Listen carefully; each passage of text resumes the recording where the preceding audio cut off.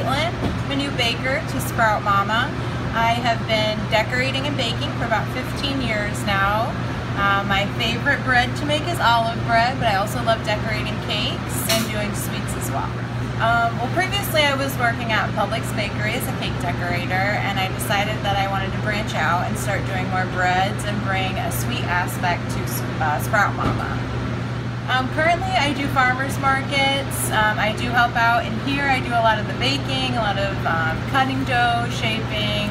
Um, I've done muffins, so hopefully we'll soon be incorporating some more sweets, muffins, scones, that type of thing.